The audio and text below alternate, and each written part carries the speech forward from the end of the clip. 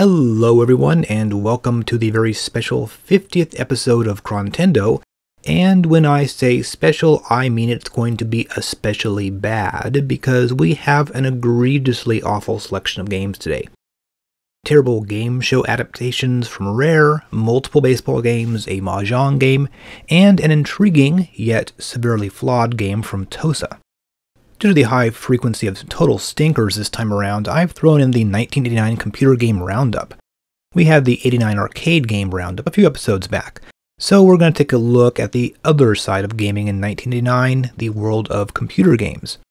So, with no further ado, let's get started where we left off last time in mid October 1989.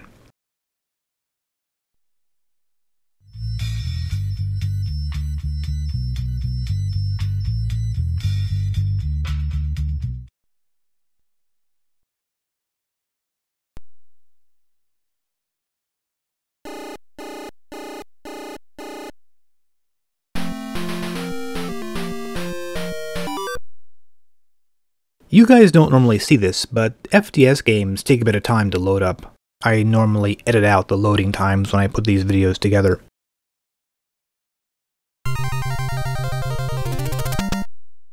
It's pretty weird, we went months without any FDS games, and now suddenly we have two that came out within a week of each other. I'm not sure why this was even released on the FDS. Pack-In-Video didn't put out tons of stuff on disc, only this and one other game. Pack-In was much more fond of carts. So here we have a very obscure game that no one seems to even know how to uh, transliterate the title. It's known as uh, Kotobi Warabe Ko, Katobe Doji, and Kotobi Warabe G. We have a lot of different baseball games this episode, but fortunately this one is a little different than most. First of all, it's based on a manga. Kotobi Warabe Ko was serialized in a monthly magazine called CoroCoro. The comic ran from 1987 to 1990. CoroCoro is aimed at younger readers and has a lot of comics based on existing properties nowadays like Pokemon, Kirby, Mario, and quite recently, Yokai Watch. Katobi was a humorous baseball drama comic, and the protagonist, Sarutobi, has a ninja background or something, and uses these ninja abilities in baseball. I suppose you really can't get any more Japanese video gamey than combining ninjas and baseball. So first you've got to pick where to go. These are other schools, I believe. Once you pick your opponent, you choose your starter, and then the game begins.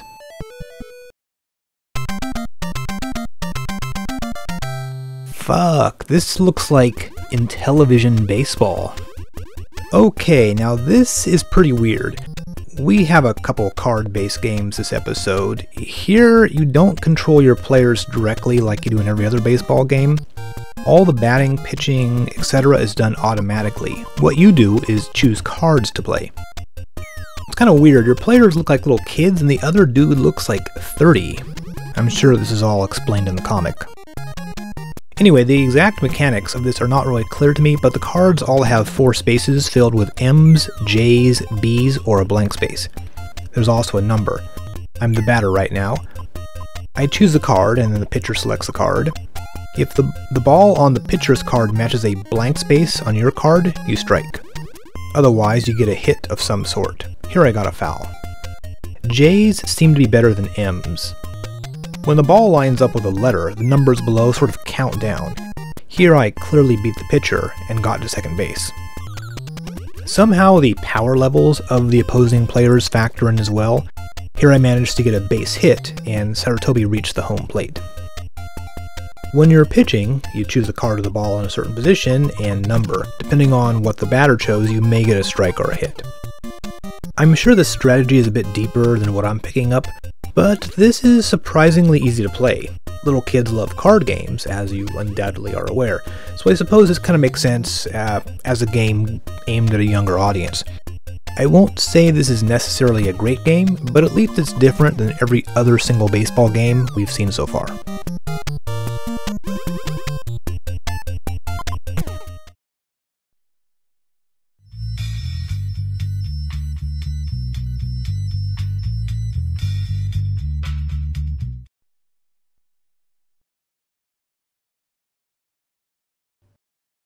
Alright, we are on to the final week of October, getting so close to 1990. Now here's a weird one. Tonkin House's Softball Tengoku, or Softball Heaven, developed by Tose. Now if you had the US version of this game when you were a kid, it must have really messed with your little minds.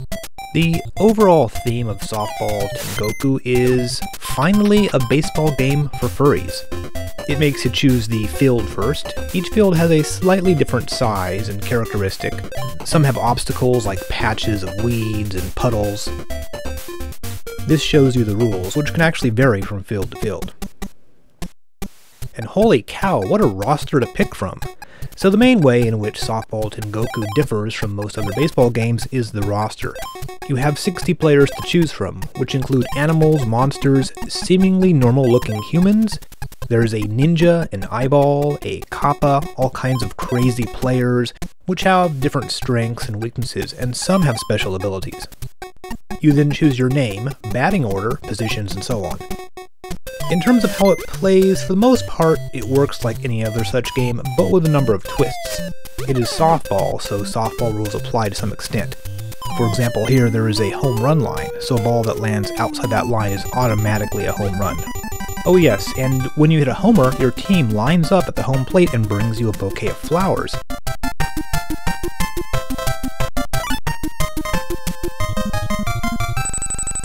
There are a good deal of weird little touches and surprises like that in this game. Honestly, there is so much fun stuff in here that even though this is a Tose game, I really can't hate it. Um, playing this for the first time, there's all kinds of sort of oh shit moments. Check out this picture.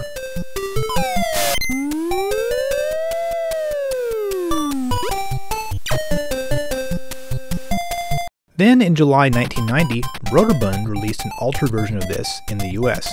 Now this game is pretty weird for a baseball game, but the way Broderbund released it is actually a little odd. Most, but not all, of the non-human players have been changed to regular human beings, though we still have uh, Zelda the Witch and Diablo, the demon-looking guy. And some of the humans do look kinda weird.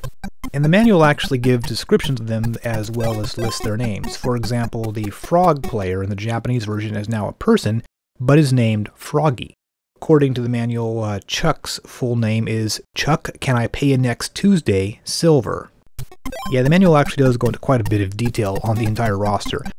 Also, they added a new mode, Slow Pitch, which changes the rules a bit. And for some reason, on the fields, whenever there are spectators in the backgrounds, those are still animals. They didn't bother changing those to be humans. And we have this marvelous screen which looks like it's made up entirely of clip art. Now, despite being this nutty magical themed game, the box art made it look like sort of like an all-dad softball league. Uh, really great box art, but doesn't go with the game at all. And they renamed it Dusty Diamond's All-Star Softball. You know, I'm 99% uh, sure Dusty Diamond is uh, completely made up for this game, but the box and manual claim he's a legendary softball all star. And for some reason, um, they actually tie the game into Ernest Thayer's 1988 baseball poem Casey at the Bat, with this game uh, purportedly taking place in Mudville. The team names are all funny, here I'm playing as the Dweebs. Now, for some reason, the bit where your teammates give you flowers when you hit a home run has been removed. But for the most part, this actually handles reasonably well. Seems like there are less foul balls in the US version. It's kind of crudely made in some ways, but the variety in the playing fields and the huge and unusual roster is what actually makes it fun to play. Like I mentioned, certain players have special abilities. Uh, some fields have puddles of water, and Froggy can easily run through these. Other players can't. Some pitchers can do wild curveballs, this guy can actually fly. And quite a few players are pretty much completely worthless. In two-player mode, part of the game is scrambling to choose the best players. Since you don't take turns choosing them, you can choose a whole bunch as quickly as you can move your controller around. So the person who knows the roster the best could really very quickly end up with a huge advantage over the other person. I'd say that in terms of pure goofy fun in a baseball game, this one is actually pretty hard to beat.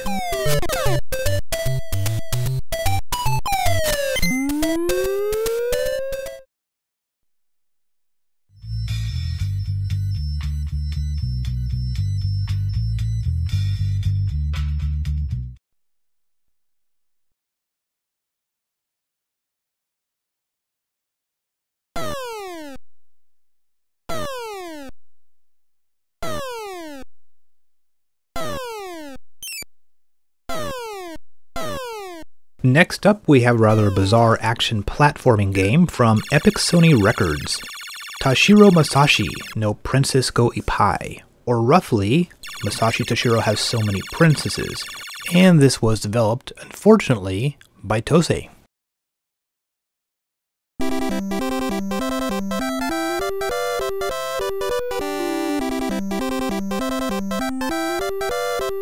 So this is yet another game starring a Japanese comedian of sorts. Masashi Tashiro was a member of the blackface comedy musical group Rats and Star. After leaving the band, he was discovered by Ken Shimura, who helped him get into TV comedy.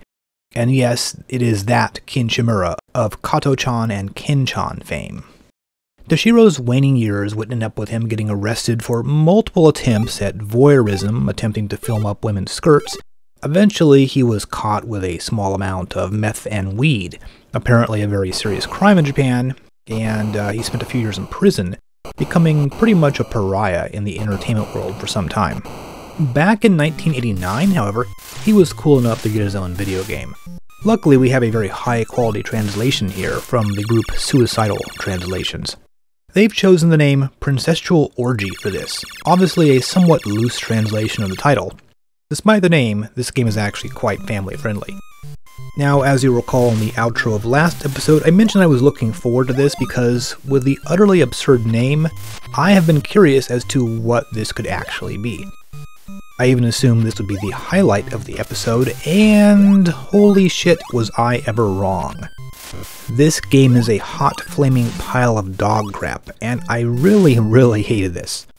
So in theory, it doesn't look too bad, but wait until we get into it.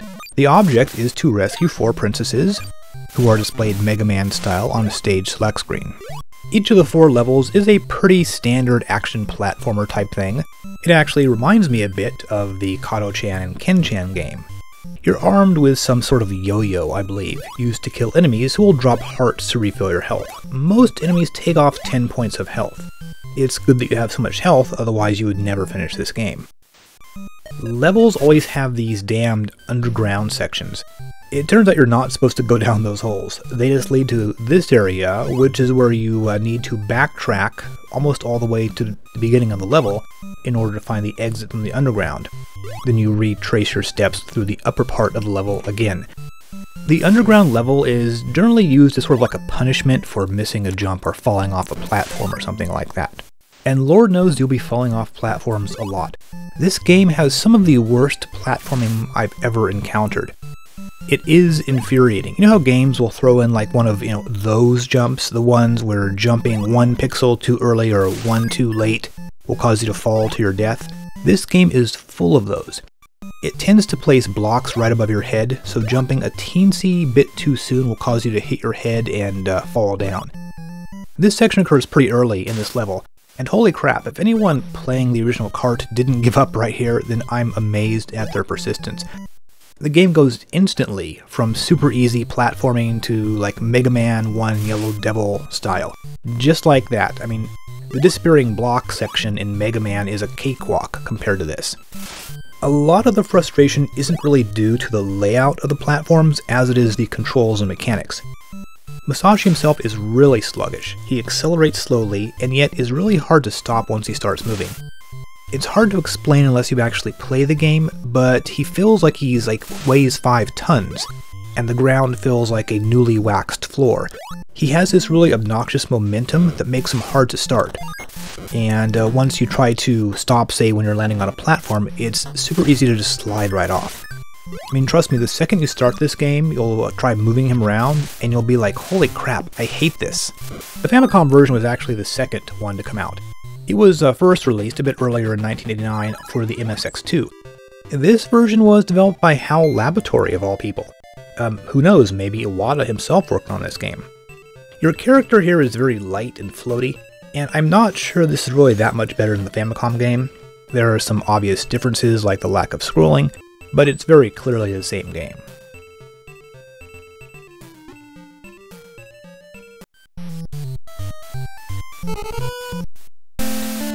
So, at the end of each level, you'll enter a castle. You need to find your way through the castle to the room where some friendly character gives you a crystal, which unlocks the door to the boss's room. So first you get the crystal, then find your way to the boss's room, and then you'd fight the boss. Now this would be a lot better if every room didn't look more or less the same. Boss fights are pretty lame, they just fly around uh, throwing stuff at you, um, and all the bosses are pretty much exactly the same. Once the boss is defeated, the princess will drop down from the framed portrait on the wall, and you'll need to escape the castle before it blows up. You then return to the title screen and repeat.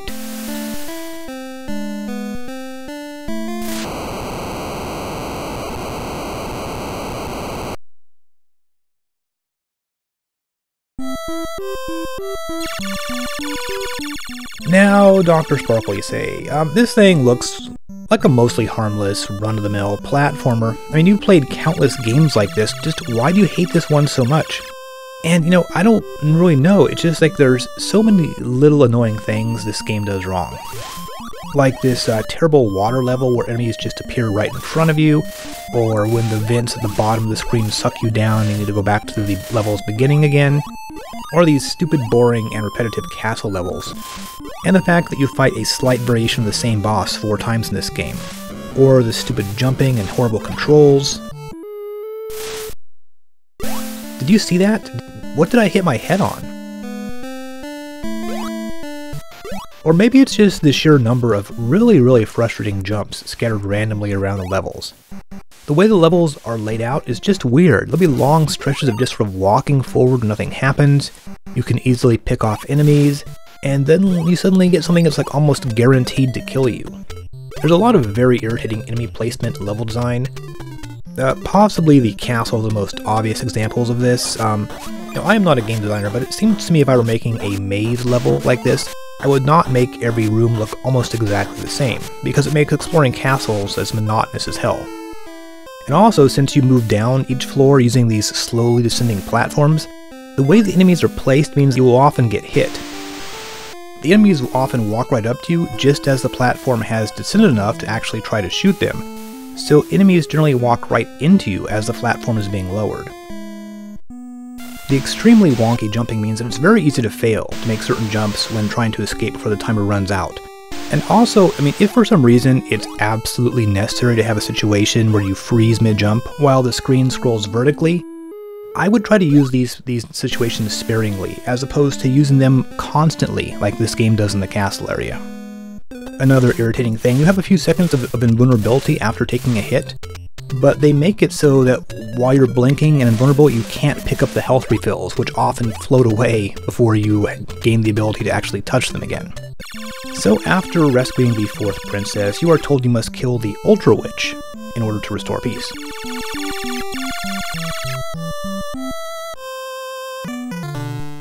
The final and rather short level is suddenly from a top-down perspective, and now you have to figure out how to do the timing on this new style of jumping.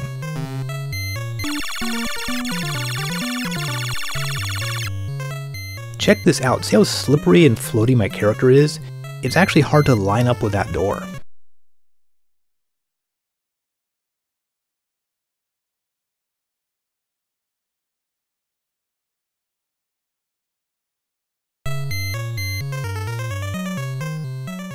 Okay, so at last, the final battle.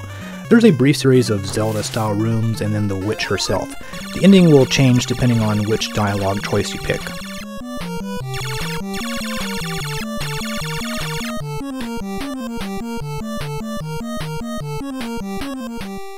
If you choose the give up option, you'll get this ending, where she allows you to rule with her and you can marry one of the princesses, but only one for some reason.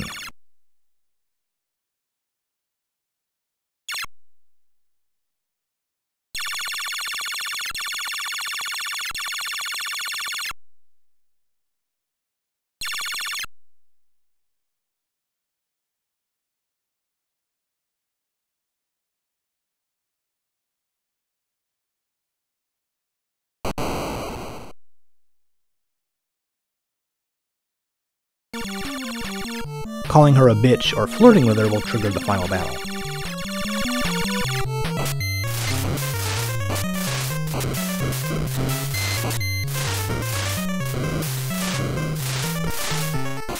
So you fire off a few shots at her, then she transforms into a huge dragon-type beast. Uh, now, nothing in this game, no matter how bad, had prepared me for this. You might look at this and wonder what's going on. The uh, floor is so slippery during this fight that it's next to impossible to control your character or actually aim in the right direction. Also, the boss's projectiles will spin you in different directions, so it's damn near impossible to actually aim your weapon at the boss's head. It's actually best to use a weapon like the Earth one that fires out projectiles in a wide pattern. Okay, so once you've defeated the boss, you'll get the good ending.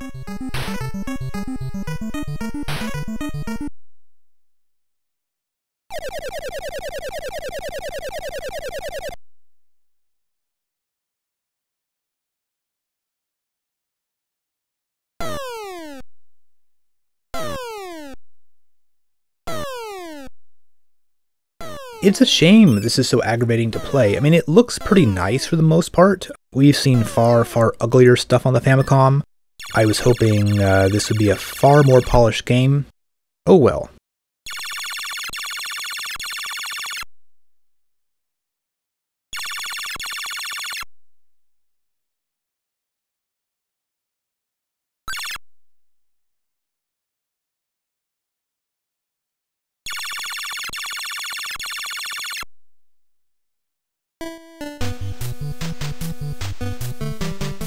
Oh, yes, and in the ending we get Rats and Star.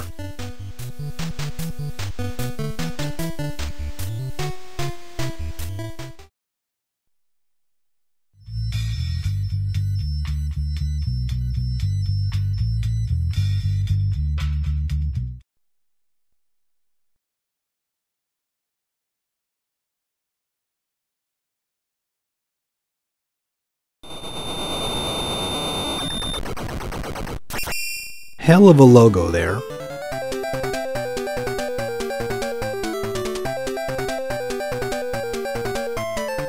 Very cool, we have a new game from Culture Brain.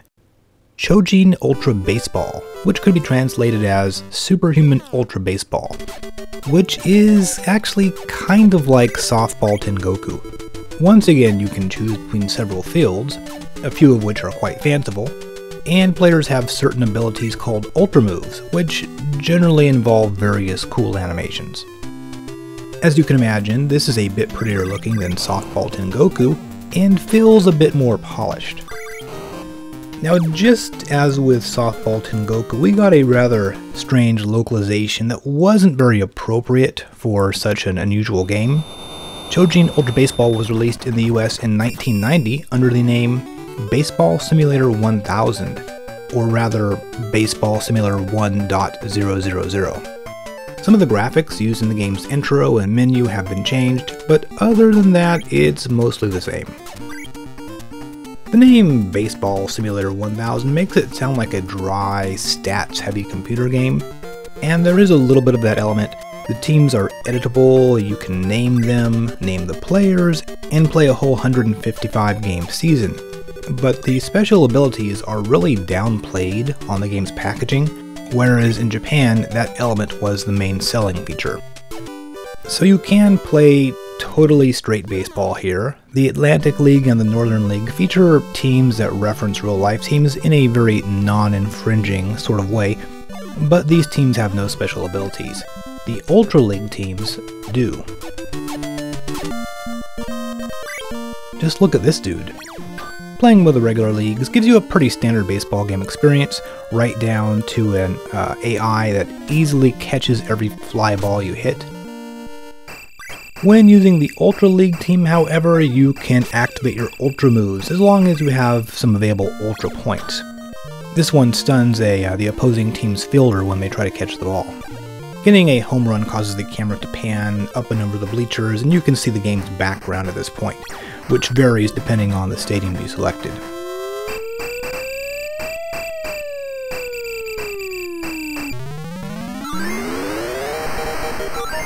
This is nowhere as weird as Softball Tengoku, and, and doesn't really have that game's uh, loony charm. It's certainly different than your typical 80s 8-bit uh, baseball game, but I really didn't find it to be that mind-blowing.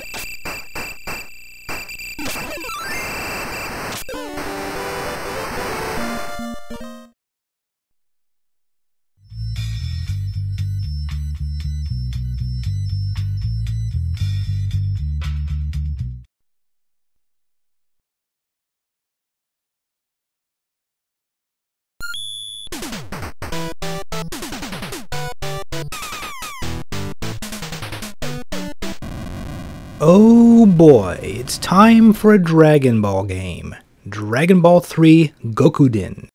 This one has all your favorite Dragon Ball characters in it, like the pig, the old guy with the beard, and that green dude. I think his name is Piccolo.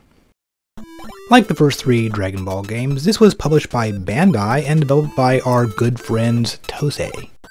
The first Dragon Ball game was released in the US as Dragon Power. It was a top-down action game, and uh, the next one, Dragon Ball Daimao Fukkatsu, added an almost adventure game style interface, but was really more of an RPG and introduced a card-based fighting system.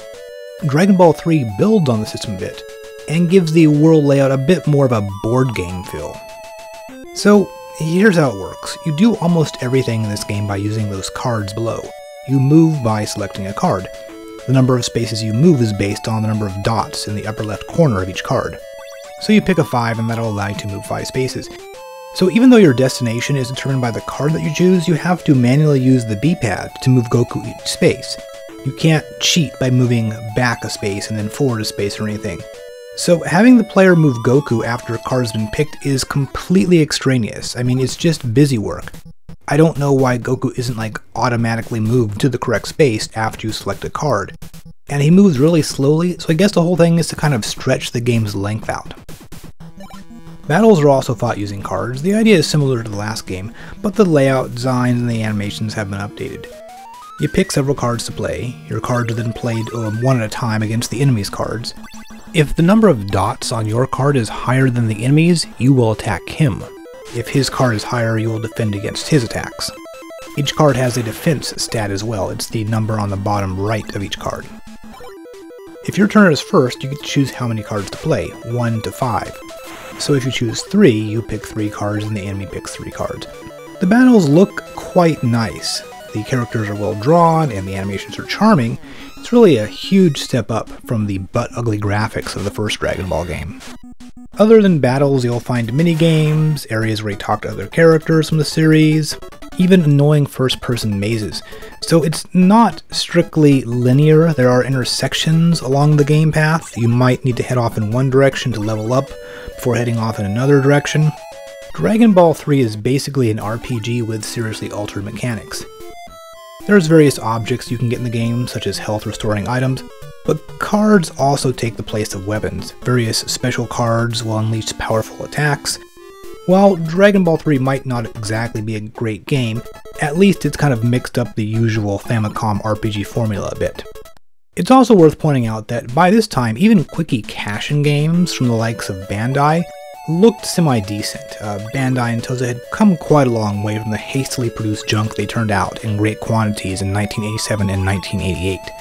Of all the Famicom Dragon Ball games, this is the only one that's not completely translated into English, so it might be difficult to play, and I probably really wouldn't recommend it, but at least it doesn't look too crappy.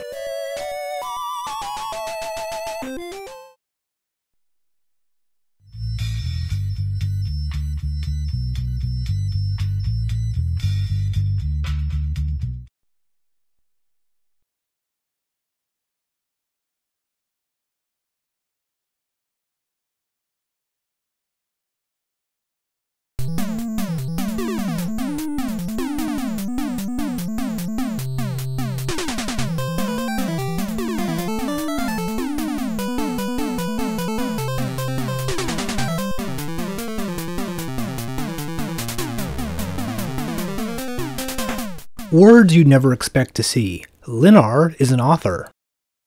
Our fourth, that's right, fourth, and final, I hope, baseball game today is Major League, published by Irem, released in Japan only. Morgan Creek and Mirage are the production companies that made Major League, the movie.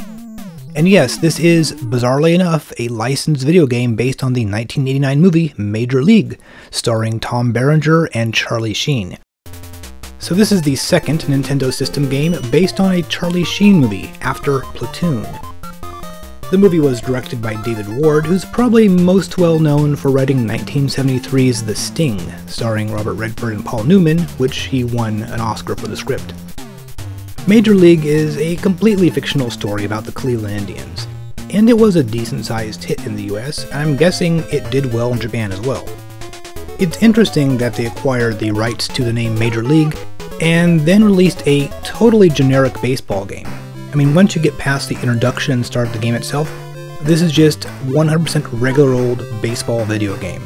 There's absolutely nothing here, as far as I can tell, that we haven't seen in at least the last three dozen baseball games we've covered on Chrontendo. It's pretty much 100% par for the course here.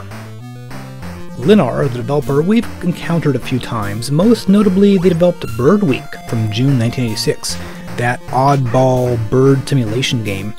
And most notoriously, they made Deadly Towers, a game which was uh, much hated by Seanbaby. It's odd, Bird Week seemed like a very early Famicom game. I covered it in uh, fucking Chrontendo Episode 8. That's how long ago it was, and yet today we're looking at a game that came out a mere three and a half years later. From Bird Week to Major League seems like eons in video game time. I mean, Bird Week came out right after Dragon Quest. And now in 1989, we've seen countless Dragon Quest clones. The genre has already become like a cliche on the Famicom. So much has changed in the video game world in those three years. But what's changed between 2013 and now? I mean, what came out in 2013? Resident Evil 6, Animal Crossing New Leaf, Antichamber, Monaco, not much different than what we have today. Anyway, of all the baseball games this episode, it's interesting that this one, the one based on a movie, turned out to be the only one that didn't totally deviate from the standard generic baseball video game formula. Can't say this is really worth playing, but um, at the very least it has some kind of cool graphics depicting the movie characters. That's probably the only uh, worthwhile thing in Major League, the game.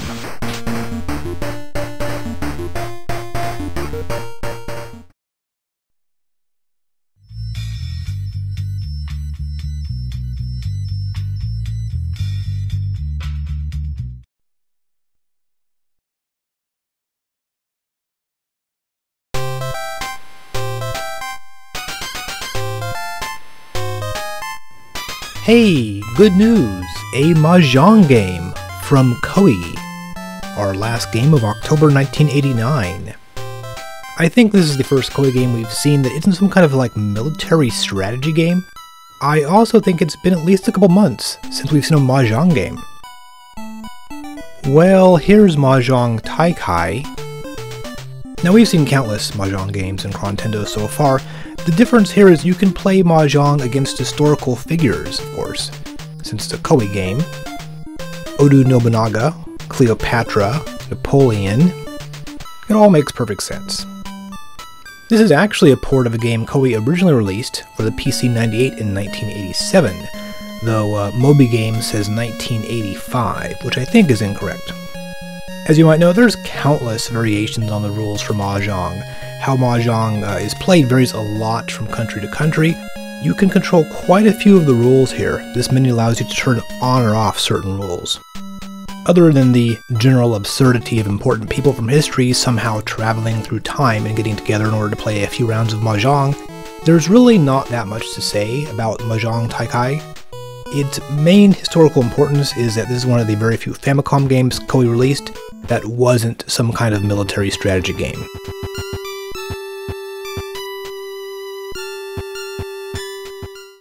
Since it's sort of a slow episode in terms of NES games, I figured this would be a perfect opportunity to squeeze in the 1989 computer game roundup. The late 80s and early 90s are sort of a strange transitional time for the world of computer gaming.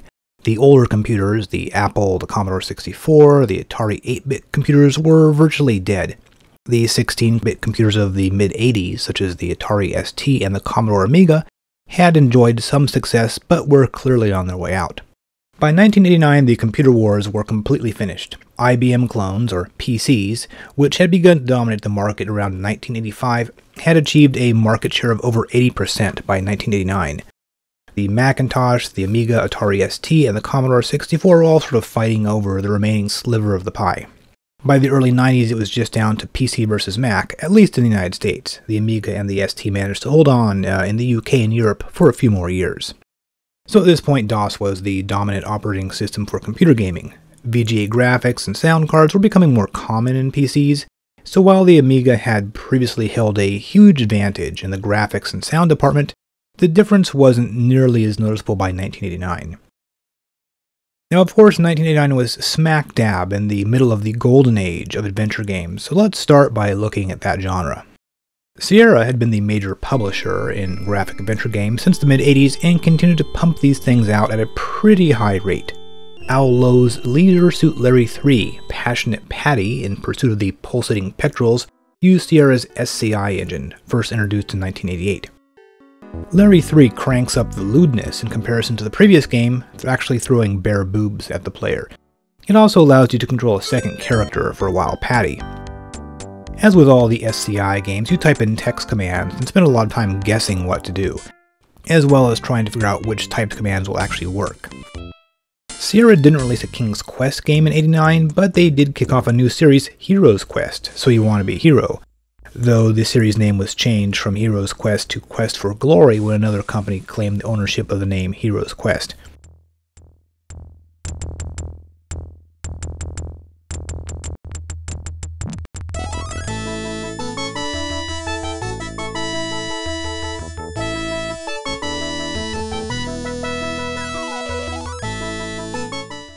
Created by the husband and wife team of Lori Ann Cole and Corey Cole, it was sort of like a more complicated take on King's Quest, adding in RPG elements like character stats and combat. It's definitely a Sierra game at heart though, and the series produced five games, the last being in 1998.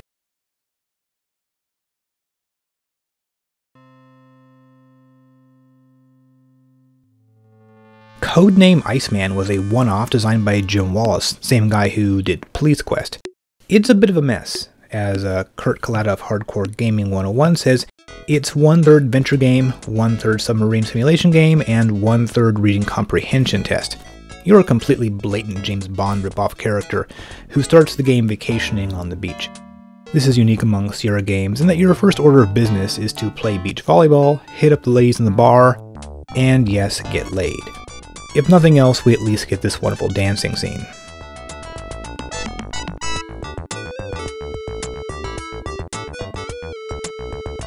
Yet another new series, though a short-lived one, debuted with the first Laura Bow game, The Colonel's Bequest. Get it? Bequest, because their games all have quest in them. This Roberta Williams game was uh, an update on Mystery House, and uh, sort of an old-fashioned murder mystery game set in the golden age of Hollywood.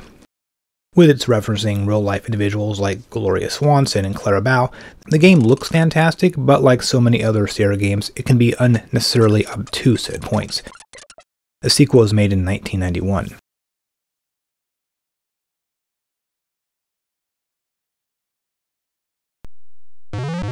One of Sierra's weirdest damn series was Manhunter. The first one took place in New York, but Manhunter 2 is one of um, several games this episode will see that's set in San Francisco.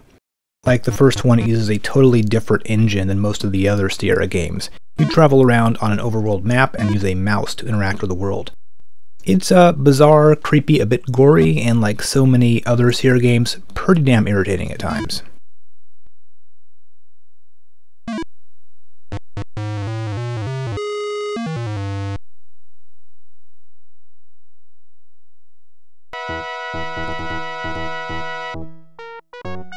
LucasArts was always much less prolific than Sierra, and their sole adventure game in 1989 was Ron Gilbert's Indiana Jones and the Last Crusade, not the most loved of LucasArts adventure games, Indiana Jones unwisely introduces some action mechanics in the form of fighting sequences. There's also a lot more dialogue and plot structure than Maniac Mansion or Zak McKracken. It's certainly not as irritating as your typical Sierra game, but not in the same league as the two games LucasArts would produce in 1990.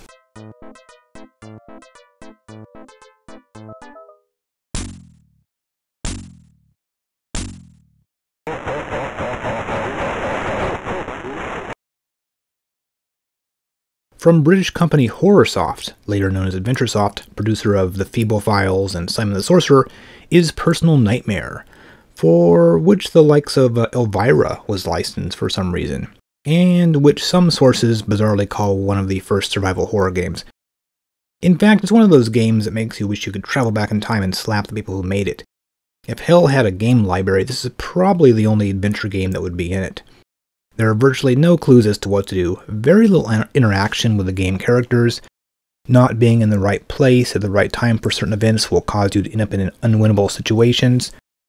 Most of the deaths just happen completely unexpectedly. The interface is clunky. Naturally, British Game Mag Zzap gave it 87 out of 100. At least some of the death sequences do look pretty cool.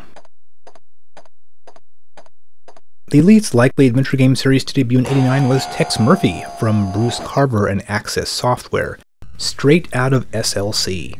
Carver and Access are mostly known for creating the uh, Links golf games, of which there were about a thousand or so entries in the series. But uh, Mean Streets was the first Tex Murphy game. It's a pretty fancy looking adventure game which features VGA graphics, digitized character art, and even 3D sequences where you fly around in your hover car.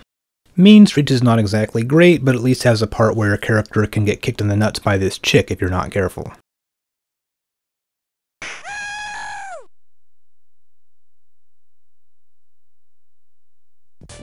So many terrible forgotten adventure games came out around this time. One of them is Keef the Thief, which I believe is the first game by Naughty Dog to actually use the name Naughty Dog anywhere on the packaging.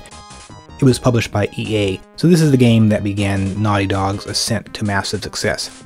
The game is a goofy parody of King's Quest type games. It looks nice and has some decent music, but there's a reason why barely anyone has heard of this today. Another game from a developer that would later go on to bigger things was Future Wars, a very early title from Delphine, designed by Paul Cuisset. Later, these guys would go on to make Flashback and uh, Shaq Fu, but Future Wars, which has a great looking intro by the way, is a point and click adventure game, and one that's irritating from the get go. Like early Sierra games, it gives no hints or direction, but also there's no hint of plot or motivation at this point. You uh, move forward here by filling up a bucket of water and booby trapping the door so that your boss gets drenched when he opens the door. But why would you even want to do this? And there's no way you could possibly guess that doing this would allow you to move into the next room. How can you even place a pail filled with water on a closed door? It, it doesn't make any sense. Anyway, soon you end up in wandering into a teleporter which sends you backwards in time, and then a sci-fi plot kicks in, but it's not exactly the best designed adventure game. Much less typical is the really weird Kult, the Temple of the Flying Saucers, or Chamber of the Sci-Fi Mutant Priestess, developed by another French company, Exxos. You wander through a temple, solving various bizarre puzzles. It reminds me a bit of Shadowgate or Myst, but much stranger. Aside from the normal ways of interacting with the world, you have these various psychic abilities. You can read minds, for example, and you can also engage in combat. A very strange game in every regard, but it does show that adventure games could deviate substantially from the normal Sierra and LucasArts ideas. I'm not quite sure what category to put this in, but 1989 saw another one from Cinemaware. It came from the desert.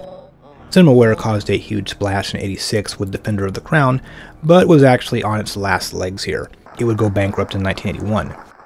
Their concept was creating games, often based on movies, with high-end audio and visual content. It Came from the Desert was inspired by 1950 sci-fi movies like the giant ants movie, Them. Much like their Three Stooges game, It Came from the Desert feels like sort of bits and pieces of other games kind of crammed together into one game. Sort of a mixture of an adventure game and an action game. We will see a dramatically altered version of this in Chron Turbo at some point. Moving on, action games, or so-called arcade games, still make up a huge percent of computer game releases, despite not being very good for the most part. For example, Rick Dangerous, one of the very first, if not the original games created by Core Design, which would later go on to create Tomb Raider. In theory, it's a simple little platformer, but the horrible controls give it that classic British hard game feeling. The control scheme is actually unbelievable. Left and right use the Z and X keys, jump is I believe the O key. To shoot you have to press space while holding down some other key, possibly O at the same time. The philosophy seems to be that you will die lots, restart lots, and make your way through this game thanks to memorization.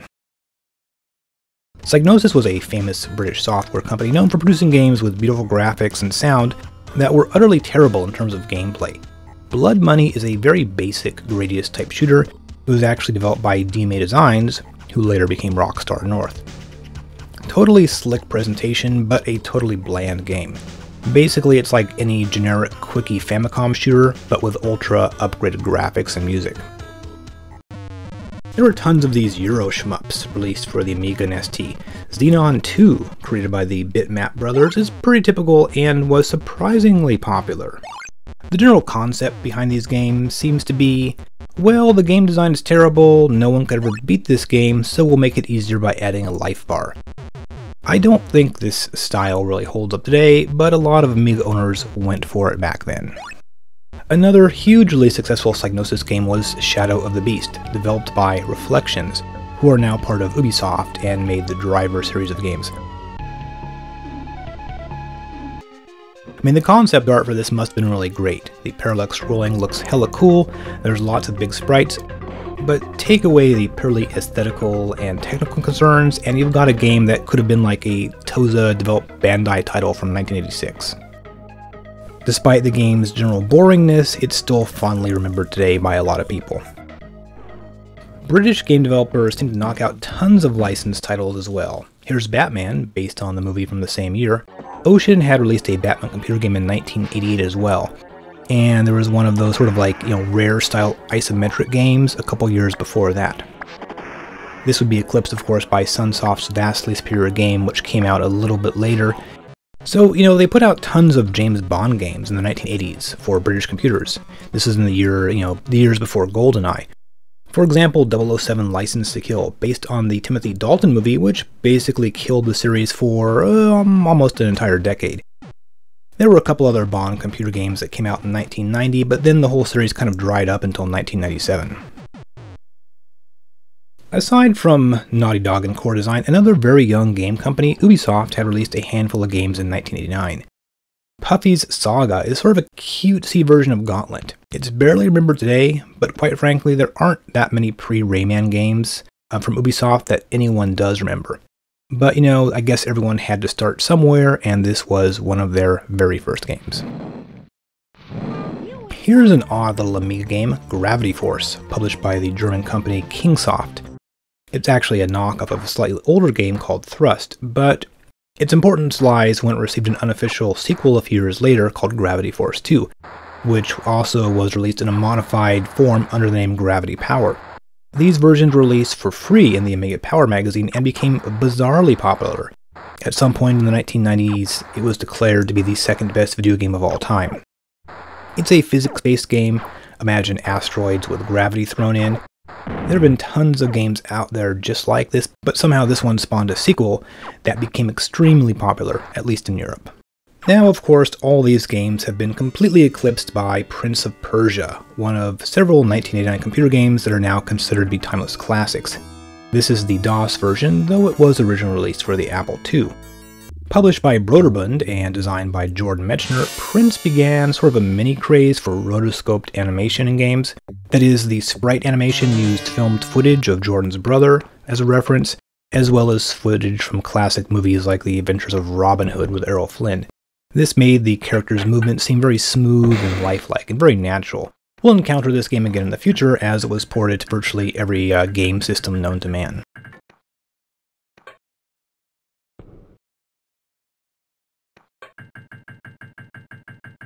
Another important name in gaming history was featured in the game Catacomb.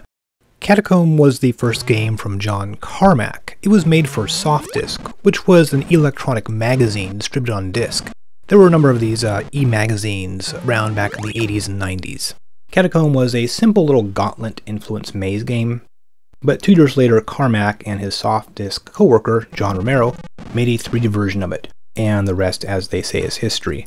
Looking at Catacomb now, it's interesting just how it clearly it can be seen as the basis for Doom, Quake, and so on, except in 2D and using very simple mazes.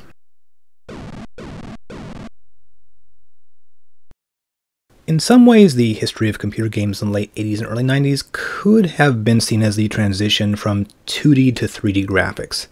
1989 saw an increase in the use of polygonal 3D, as computer specs improved, so did the visual quality of 3D games. Archipelagos was a strange little game for the Amiga and ST, which featured sort of this wonderfully smooth movement throughout the 3D world. It was published by a small forgotten company called Astral Software. This was quite impressive for the time. Computer Game World magazine called the graphics quote-unquote stunning, perhaps even shocking, end quote. The game is deceptively simple. You wander around a series of islands, destroying these little stone monoliths. Doesn't really sound that great, but it still holds up somewhat today. The visuals and sound are pretty immersive, and it's one of the few early 3D games that makes you feel like you're sort of really moving around in the game world. Dynamix, the same guys who made Betrayal at Krondor a few years later, developed MechWarrior, which was published by Activision. MechWarrior is based on the Battletech tabletop war games. It's basically a giant robot simulation game, and the use of polygons is pretty basic here, but it set the stage for the series which kept going up into the Xbox era. We'll see a Super Nintendo version of this at some point as well.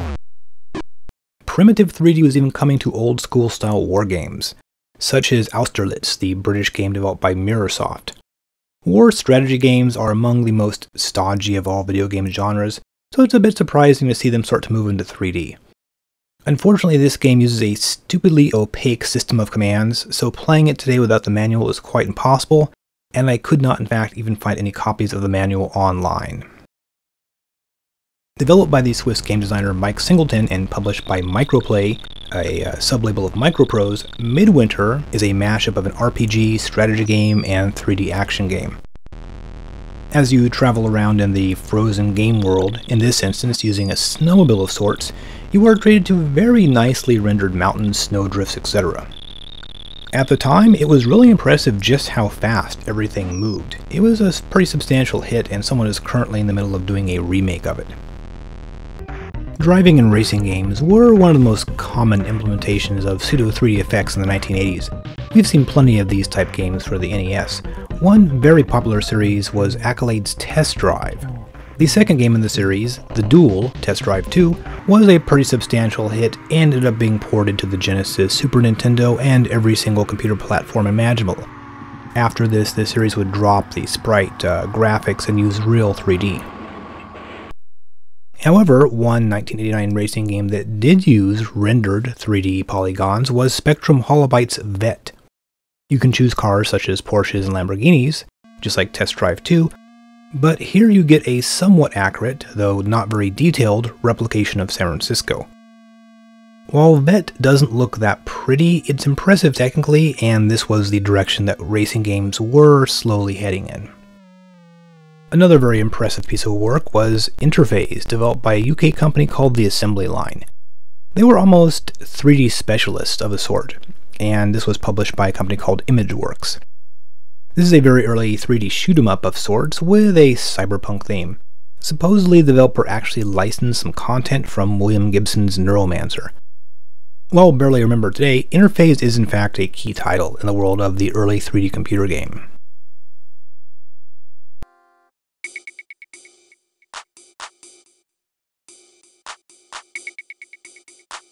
Not so great, in any way at all, is the hilariously terrible David Wolf Secret Agent, also by Dynamix, the developer of MechWarrior. Wikipedia calls this an interactive movie, which is sort of true. The game uses digitized still photos of actors instead of live action footage. However, the way the photos are shot and edited together is supposed to resemble that of a movie. So it looks kinda like an interactive movie except the lips aren't moving as they talk. Like a lot of actual FMV games, David Wolf alternates between non-interactive narrative sequences and 3D action sequences in which you control the player. Usually here it's a scene where you drive or pilot some kind of vehicle. The wonderfully cheesy actors and the driving rhythmic music are a major part of the appeal. It just feels like a prototype for every god-awful Sega CD full motion video game. And if you get killed here, you'll lose the game when the bad guys nuke the capital.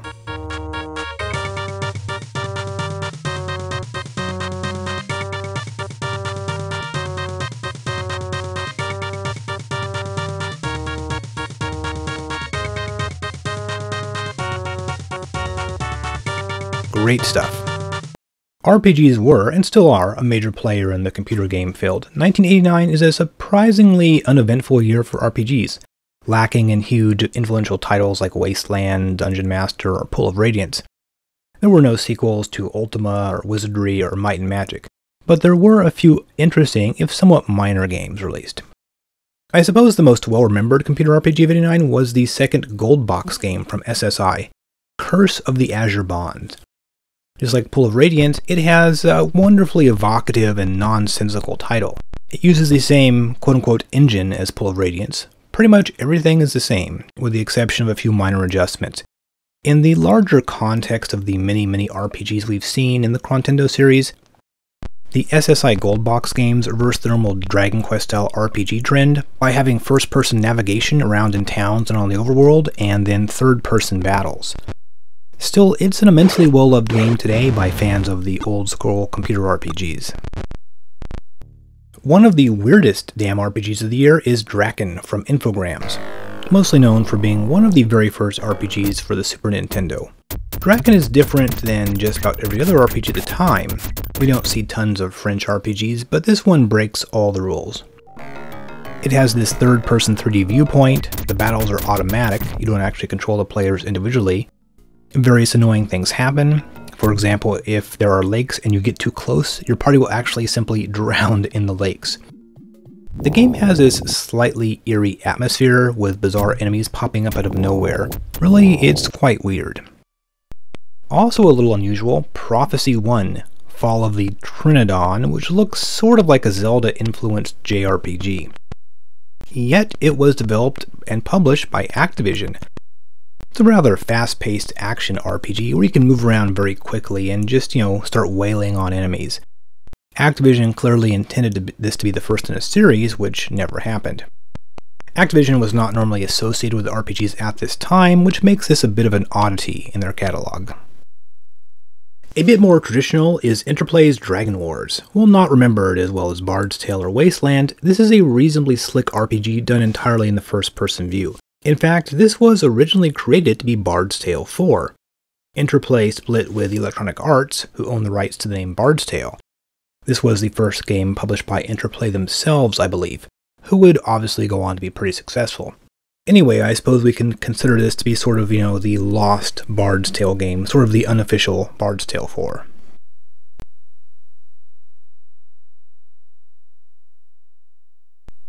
Various sorts of simulation games existed in 1989. Older genres like hex-based war games, sports games, flight sims, tank sims, also strategy games continued to evolve. With improvements in graphical capabilities, the genre slowly moved from abstract maps and charts to visually appealing point-and-click games. Tons of sports games hit the shelves in 1989, with the Electronic Arts being the big dog by licensing various names and franchises, but even guys like Data East were getting into the business. ABC Monday Night Football was based on Monday Night Football, a weekly NFL broadcast on ABC. Featuring such broadcasting personalities like Frank Gifford is a good example of just how slick sports games were becoming at this time. Hello everyone, I'm Frank Gifford along with Al Michaels and Dan Dierdorf. Let's go down to the field for the... It was produced by Park Place Productions, who were for a while one of the biggest sports game developers.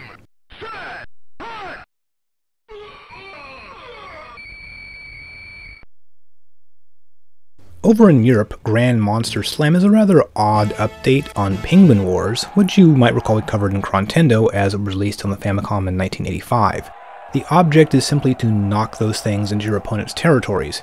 Not a fantastic game by any stretch, but it is an example of the sort of emergent fantasy or sci-fi themed sports game. We'll see more of this kind of stuff start to appear in the early 90s. Space exploration strategy games were sort of a mini genre at this time.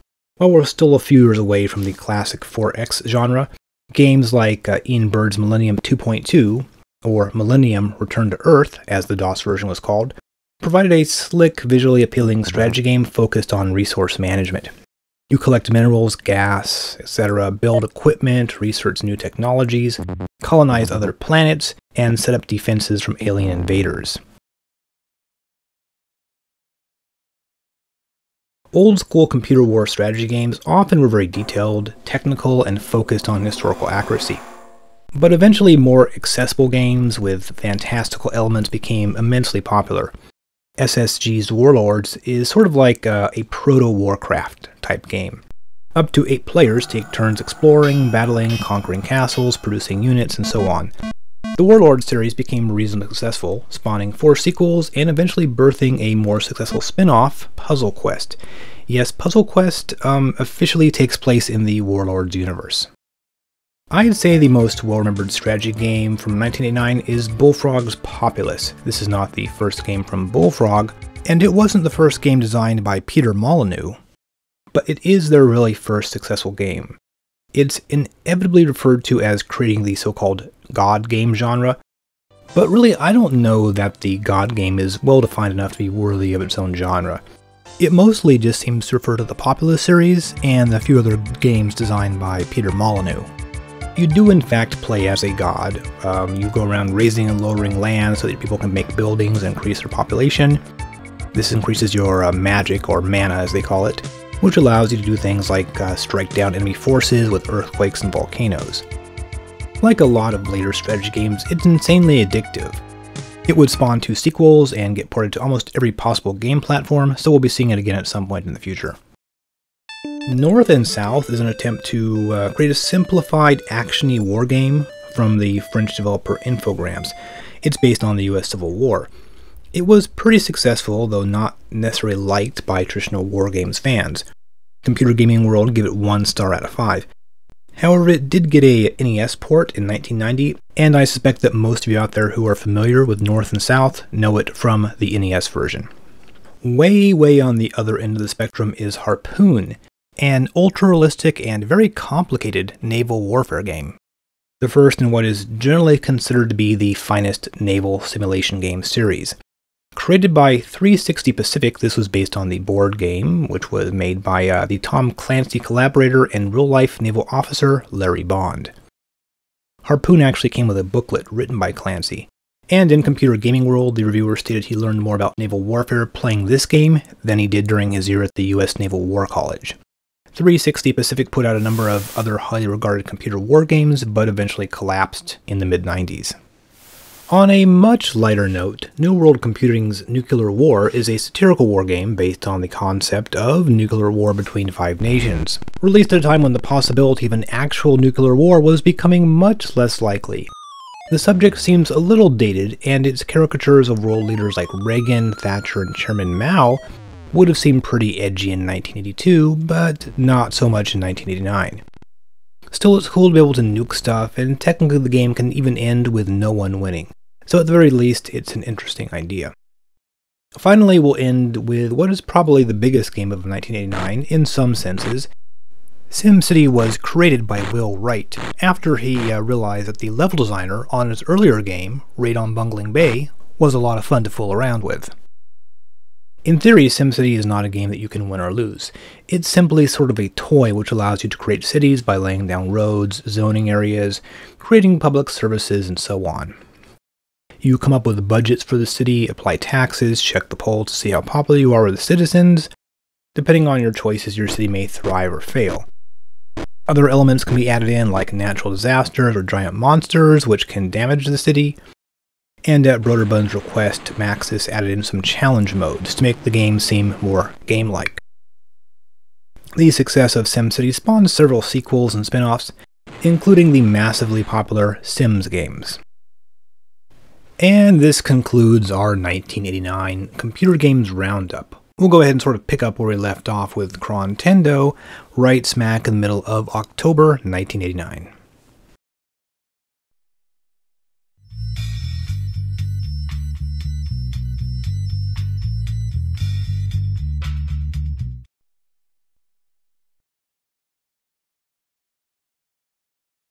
Okay, time for some US only releases for October.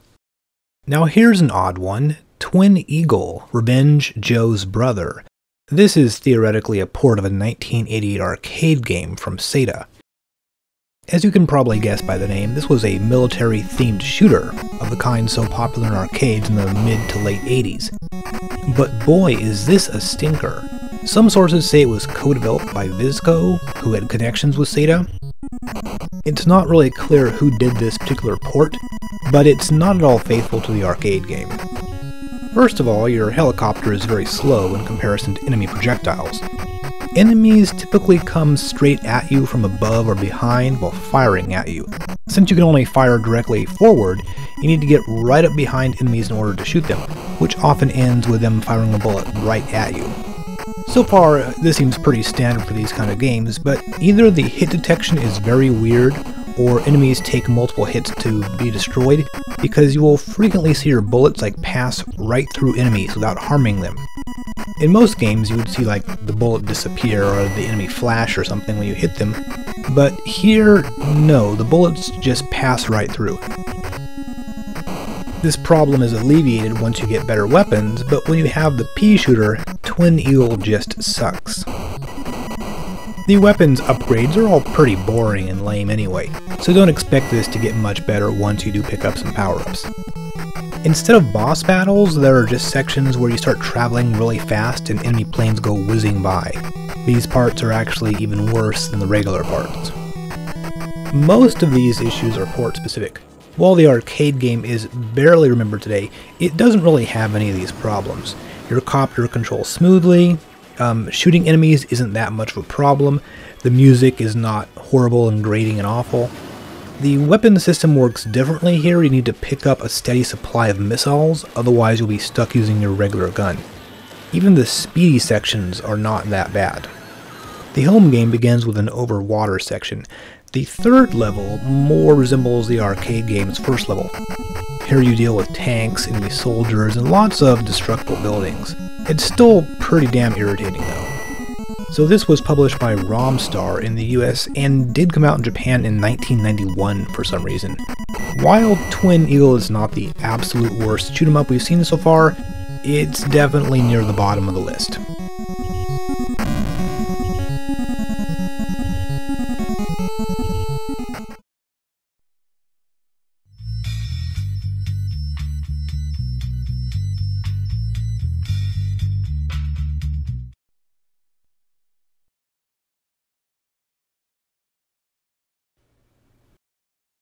Wow, so we've got a couple more games here from Rare. It's astonishing how many games they pumped out during this time. There are literally Rare games coming out every month at this point. Today's two are both game show games published by GameTek, who specialized in game show video games. Almost exactly a year prior to this, GameTek put out games based on Jeopardy and Wheel of Fortune, and now they return to that particular well. First up is Jeopardy! Junior Edition. Yes, it's Jeopardy, but aimed at a younger audience. You pick the number of players, difficulty level, and then select a player, some of which are quite weird looking. Holy crap, what is with her eyes? Is she tripping? Once you select what you want to look like, the game itself begins. Just like real Jeopardy, you pick a clue off the board, hit the buzzer if you want to answer the question, and then phrase the answer in the form of a question. The phrasing in the form of a question part is already covered as what is is already typed out for you and you just need to fill in the rest. Now clearly Rare saved themselves a lot of time and effort by simply reusing pretty much everything from their first Jeopardy game. It's literally the same game with a, a slightly altered title screen and different questions. Well, that and they did create new graphics for the characters. But regardless, absolutely minimal changes were made to the old game in order to create this one. The whole idea of Junior Jeopardy is that, you know, these are for kids and the questions are a bit easier, and based on sort of like common knowledge type questions. Some might be tricky for kids, like, uh, do you know what city the Grand Old Opry is in? I mean, maybe you do now, but did you know that when you were like a little kid? Here's one I got wrong under school days, advancement to the next grade. So, uh, graduation, I guess? Can you graduate from third grade? I'd normally say that, you know, you've passed third grade. I tried graduation and nope. Turns out the answer is promotion? In all my years of going to school, I don't ever recall hearing that word used in that sense. Is, is this a British usage? Is it like an East Coast thing? I, I really don't know. As before, typing in your answers is slow and awkward. Jeopardy is way more suited to being, being played on a computer with a keyboard and then on a console with a controller. Misspelling a word can be an issue. I once got an answer wrong because I spelled nightingale with an E where the second I should have been, so bad spellers will have a serious handicap. Final Jeopardy works on the honor system since the other players can see your answer if you go first.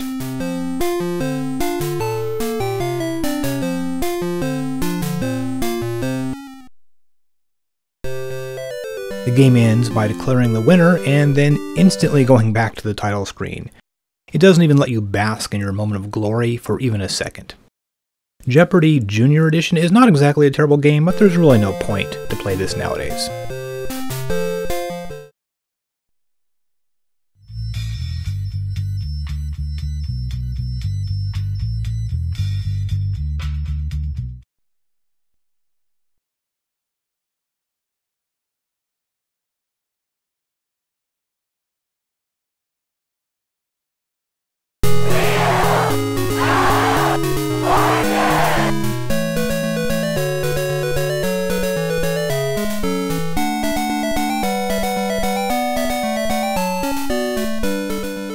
Of course, GameTek followed up Jeopardy! Junior Edition with Wheel of Fortune Junior Edition.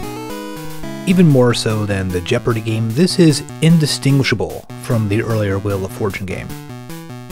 Well, the phrases are easier, I suppose, but everything else is exactly the same. With Jeopardy, they added new graphics for the players, but here, there actually are no player graphics, so this looks exactly like the earlier game aside from the fact that the word junior was added on to the old title screen. Even if you don't remember the first game, it's pretty obvious how this works. You spin the wheel, choose a letter. Unlike Jeopardy, any player can get pretty much locked out of the game, since the same player keeps spinning until they pick a wrong letter. While the interface is better than Jeopardy, the graphics and color scheme is just hideous as all hell.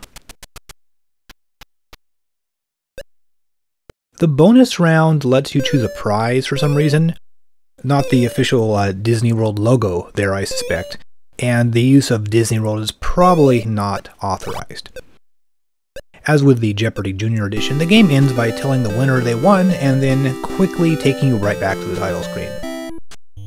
While technically not a terrible game, it's hard to imagine anyone needing to play this today over the first NES Wheel of Fortune game, unless you are a young child or just a dullard.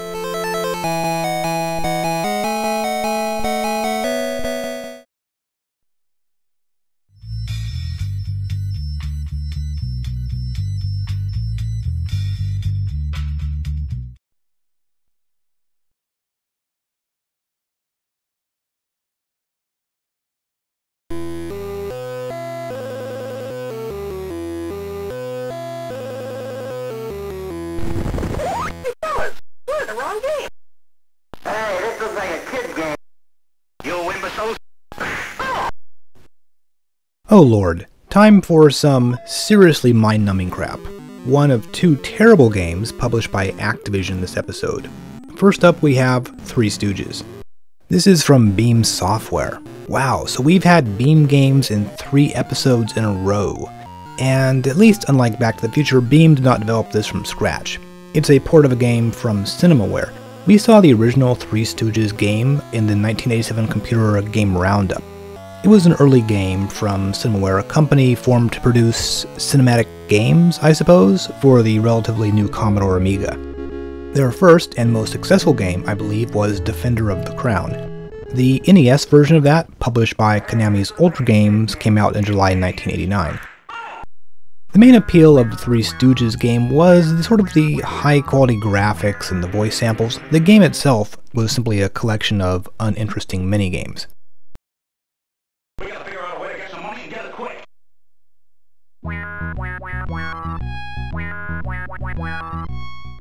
Now obviously, graphically speaking, this takes a pretty huge hit on the NES. It's actually pretty ugly. Still, a lot of uh, semi-decent voice samples did make it into the game. Now, I'll admit, I do not like the whole uh, let's throw together some lame minigames genre. I also don't like unintuitive gameplay and awkward or overly complex control schemes. Well, brother, let me tell you that Three Stooges has all of that in spades. Here, for example, is the crack reading game. You move your spoon around and press the button to scoop up a cracker. Now obviously eating crackers out of soup is not hard, but they made it much more difficult by making your spoon hard to control. It slides all around when you try to move it. The crackers also disappear quite quickly, and the game frequently cuts to a rather annoying shot of Curly looking at the soup and making that ah noise. The whole thing seems bizarre and random out of context. The context of which is actually a scene from the 1941 short Dutiful but Dumb. in which Curly gets a bowl of soup with a live oyster that keeps snatching up the crackers. But the player encountering the game for the first time is likely to be baffled as just what the hell is going on. And even I don't quite understand the random cutaways to Curly um, making that weird, uh, obnoxious noise that he makes. The object of the game is to raise money in a limited time period. Each day you get a different job of some sort to do, which you pick using this moving hand uh, sort of spinning wheel contraption here. Trivia, for example, takes you to uh, Zielski Radios, and you play a radio trivia game based on Three Stooges. Three questions are asked, and you get money for each right answer though really only hardcore Three Stooges fans would actually know any of these. Other games are boxing, which is actually like the walking section of Back to the Future, only worse. You know, looking at Three Stooges, I wonder if Beam lifted some ideas from this game for use in Back to the Future. You don't do any boxing here, instead Larry walks down the street and you move him up and down to avoid obstacles. All the obstacles are cluttered near the bottom of the screen, so the trick is determining if you're going to collide with something or not. It's obnoxious as hell, and I never figured out how to avoid tripping on that thing. What is it, a dead body? Well, it turns out you can jump, but this is absolutely not mentioned in the manual. It gives you the control scheme for this minigame, but does not mention jumping whatsoever, so I wrongfully assumed that you couldn't. The easiest game is probably the hospital one where you simply need to speed down the hall avoiding other people. It's not in the least exciting, but at least you can make good money. Oh yes, and once again, just like Back to the Future, it's easy to kind of cheat, or at least, you know, avoid collisions by hitting the pause button. The other games are a pie throwing contest with a really hateful control scheme, and a slapping game which doesn't get you any money but makes the hand that selects the game move either faster or slower depending on how you do. You want to slap or kick Larry and Curly as many times as possible, and I kid you not, here is the controls instructions from the manual. This looks absurdly complicated, but it doesn't really matter because in reality you can just alternate punching back and forth between the two to rack up enough points to get the, the lower speed down on the hand selector. And that's actually all the minigames there are. There are a few other events on the job selector that aren't games, most notably the mouse trap, which breaks your finger. Break all your fingers and the game's over. The safe is simply a scene where you walk up to a door and receive a check reportedly because a safe fell on Curly's head. This part, you know, with the safe actually falling on him is not shown in game. If the hand lands on the dollar sign, you'll get a little cutscene where the Three Stooges walk into an alley and find a uh, bag of money just lying on the ground. Though when they open it up, it's actually not cash, but mysteriously a check made payable to the Three Stooges. And that's more or less about it. Um, the hard part is actually avoiding the mouse traps. If you can make it to day 30, you'll probably have enough money to avoid the bad ending in which the orphanages get closed down. I myself later got the second best ending in which the orphanage is saved and they make the roof repairs. This requires at least $10,000. The best ending has you marrying three daughters of the lady who runs the orphanage. Just like in Back to the Future, the endings are super short and it immediately goes back to the title screen. No congratulations, no credits or anything. So while this is not as well known as Back to the Future, I think I actually like Three Stooges less, which is really pretty amazing when you think about it.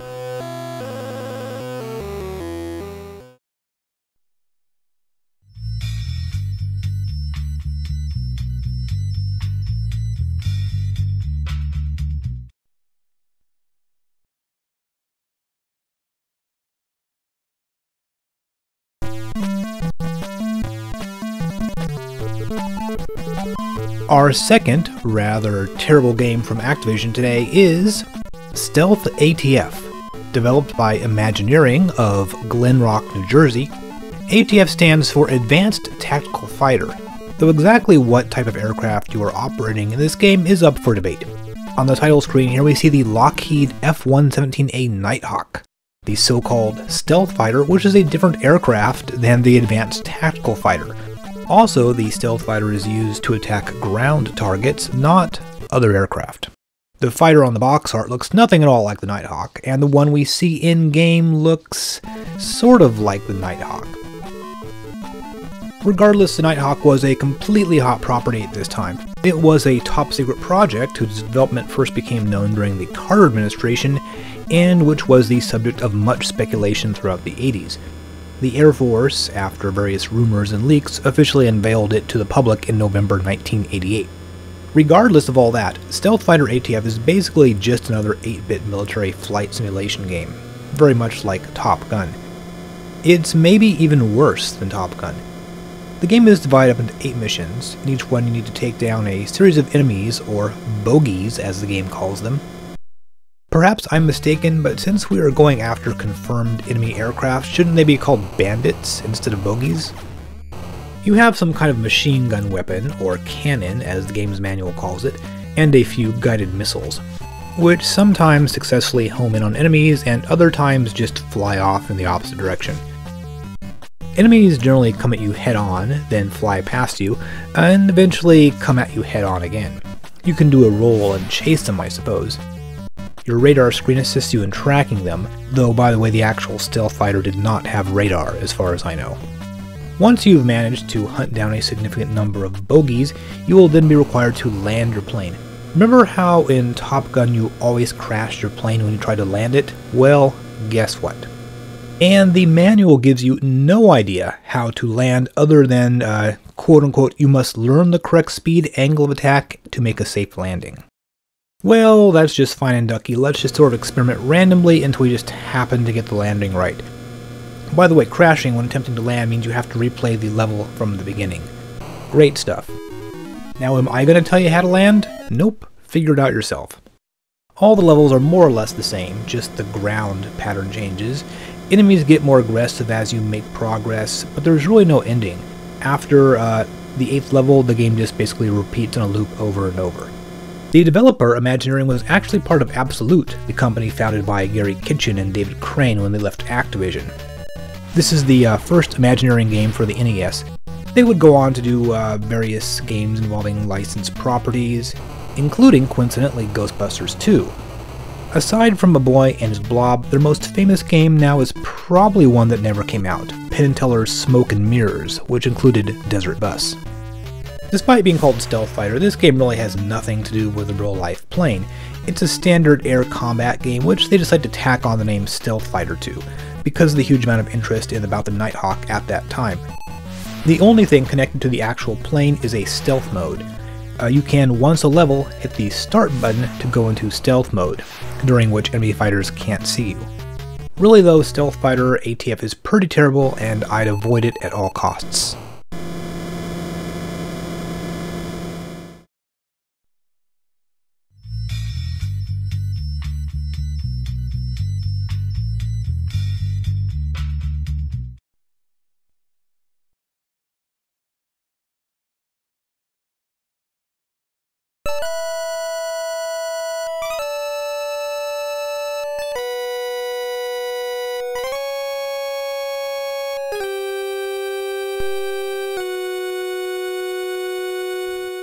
Darn, that's some annoying music.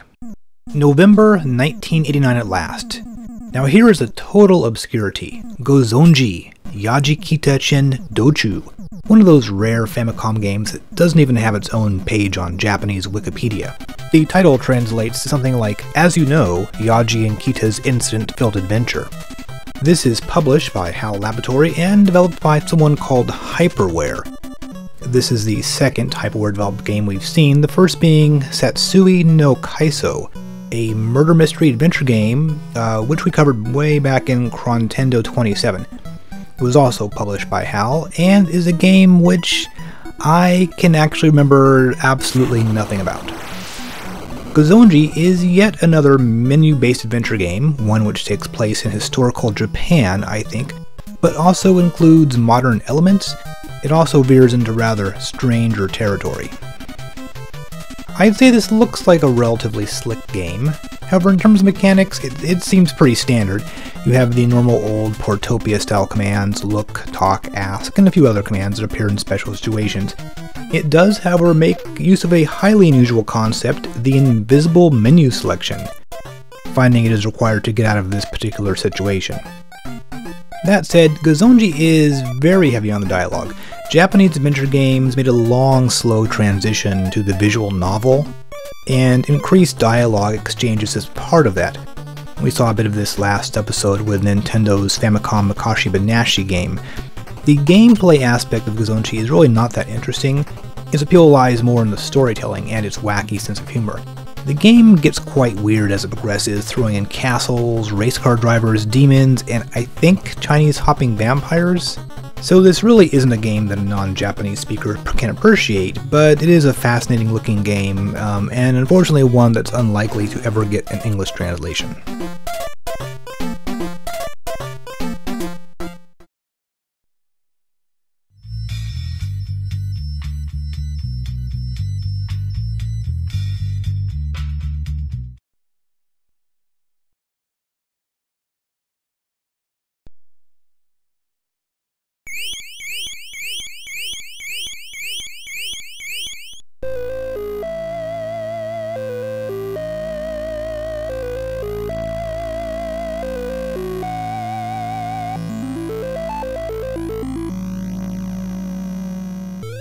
Ah yes, here's another game developed and published by Natsume.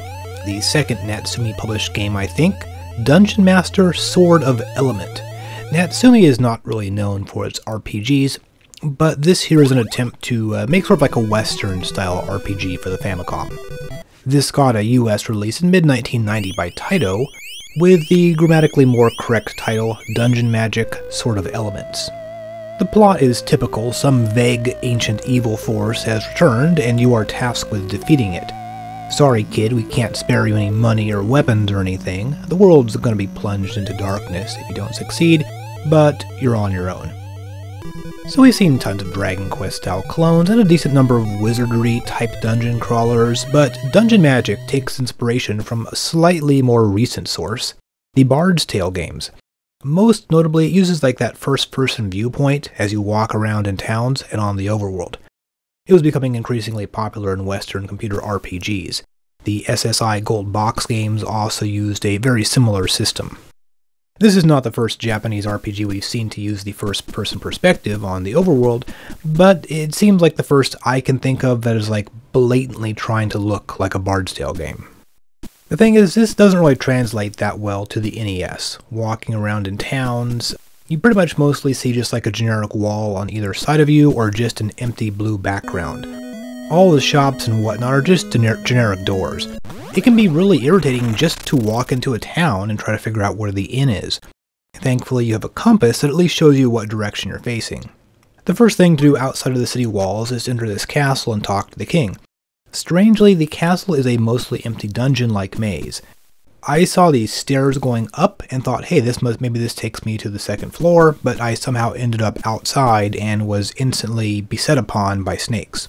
The king and queen are somewhat well hidden right in the middle of the castle, but at least this dude gives you a hundred gold and a shitty sword.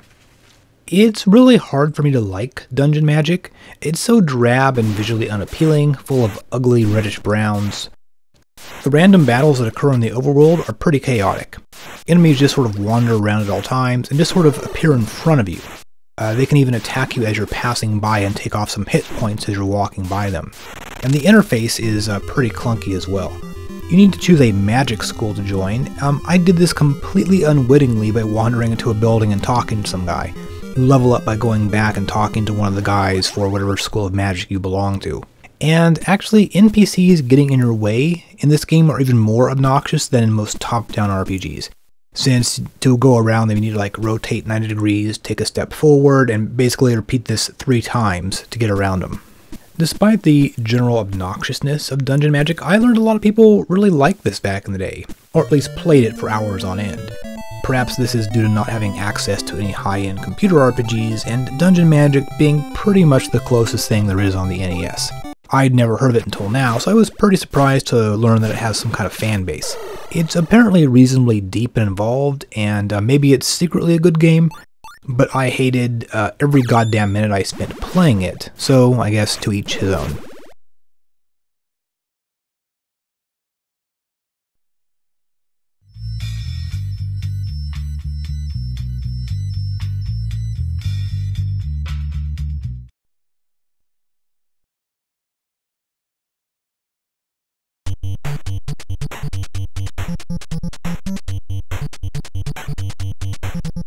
One last game this episode from Technos Japan, US Championship V-Ball.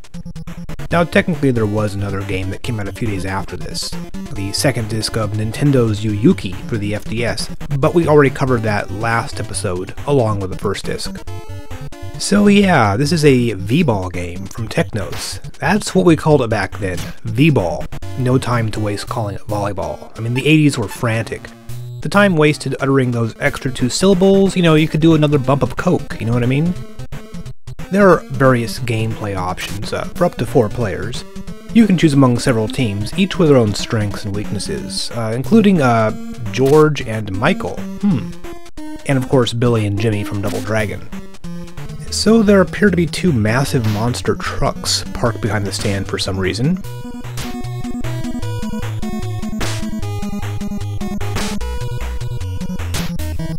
Naturally, Nintendo themselves released this in the US in early 1990, under the even more radical name Super Spike V-Ball.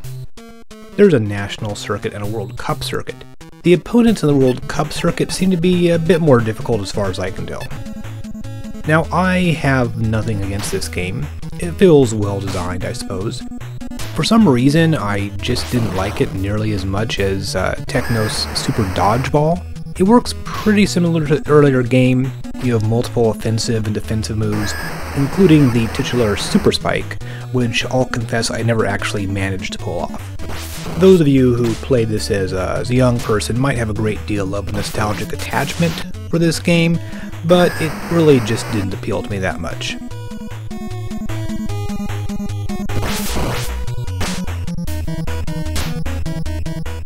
Well, that wraps it up. Not sure what I picked for the best game this episode. Maybe nothing? There were a few decent items, but nothing that really stands out to me. As for worst game, perhaps Three Stooges? Something about this style of game just irritates the hell out of me, and this one is just so crudely made and pointless. Well, guess what happens next time? Yes, we finally reached December 1989. I'm excited too. We've got at least uh, one well known game from Taito, a couple almost completely forgotten US only games from Nintendo, and one of Square's very last games before they sort of went to virtually 100% fantasy themed RPGs. Oh, also the US release of a game that we've already seen in some form or another about three times in this series. Anyway, I hope to see you then.